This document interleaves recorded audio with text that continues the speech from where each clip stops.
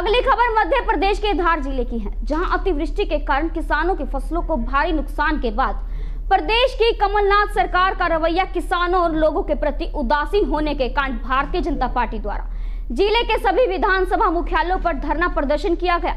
धरना प्रदर्शन में राज्य सरकार द्वारा सर्वे कराकर शीघ्र मुआवजा राशि दिए जाने के साथ ही राज्य में बिजली एवं सड़क व्यवस्था चौपट होने के बाबत राज्य सरकार को जगाने के लिए इस आंदोलन की ज़रूरी बताया गया है।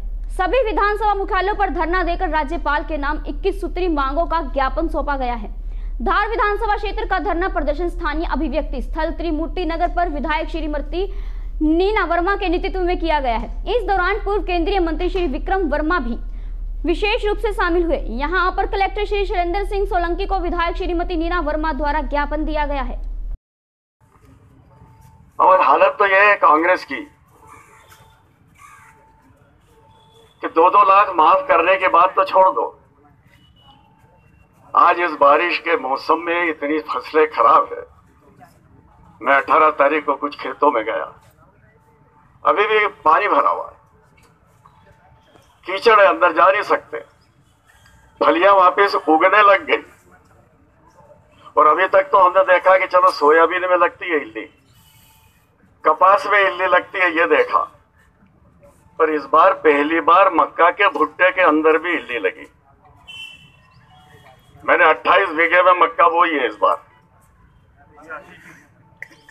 28 बीघे की मक्का में।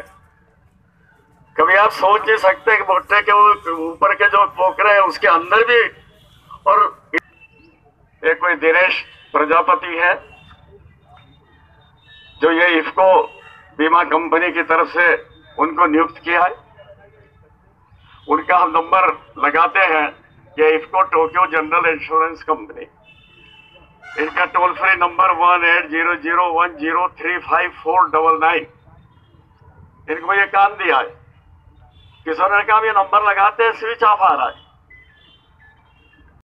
मतलब इस तरह की सूची होती है। और वो सूची लेने के बाद यदि वो व्यक्ति जाता है या किसान जाता है सोसाइटी में या बैंक में कहीं भी जाता है कि भाई, ये देखो सूची में मेरा नाम है, मेरा कर्जा माफ़ हो जाना चाहिए। तो बैंकों के पास कोई दिशा निर्देश नहीं है। सोसाइटियों का, जैसे अभी आपने राजू भैया से सुना होगा, हालत बद से बदतर कर दी गई है। और इस पूर्व का कर्जा तो माफ़ हुआ ही नहीं है। लेकिन आज जो इसकी स्थिति है, उनको जाकर के कोई सुनने वाला भी नहीं है, कोई पूछने वाला भी नहीं है। और अगर शिवराज जी कहते हैं कि भाई, किसानों के बीच में या खेतों में जाएँ तो उद्योगपति हैं, उनके स्टाइल अलग हो सकते हैं। जो किसान का है, उसे महसूस करने के लिए उनके बीच में जाना ज़रूरी है। जा सकते हैं, किसान की जो हालत है, जो बहुत बुरी हालत में आज बैठा हुआ है, फ़सलें चौपट हो गई हैं, और जो अफलन की शिकार हो गई है, सोयाबीन गल गई है, करके उसके आँसू पहुँचना और उनको समझ में नहीं आ रहा कि वो JBD Banquets लाए हैं Incredible Marriage Palace Rajgharana and the finest banquet hall Jyoti Garden. World class catering, centrally air conditioned, lush green lawns, state of the art lighting. A perfect venue for wedding, launching and parties. Rajgharana and Jyoti Garden at JBD Banquets Enterprise.